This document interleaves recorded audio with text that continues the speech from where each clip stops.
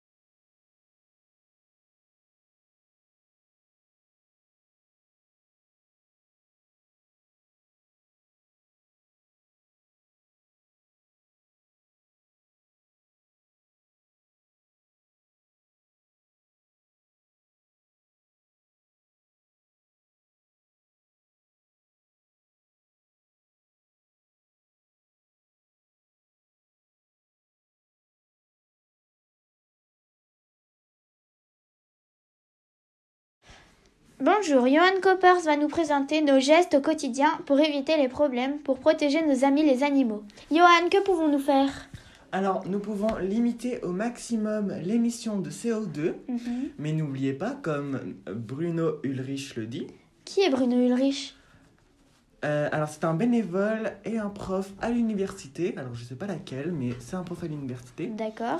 Et il nous dit euh, il n'est pas possible de ne plus produire de CO2 du tout. Mais en se déplaçant en transport en commun, à pied ou à vélo, nous pouvons limiter l'émission de CO2. Et euh, est-ce qu'on peut limiter la consommation de l'eau? Bien sûr. En ne prenant pas des douches de 3 heures, et quand on laisse couler l'eau euh, pour qu'elle soit chaude, on peut prendre l'eau froide pour, par exemple, arroser nos plantes ou faire la vaisselle parce que cette eau, elle est propre. D'accord. Et en forêt, que pouvons-nous faire?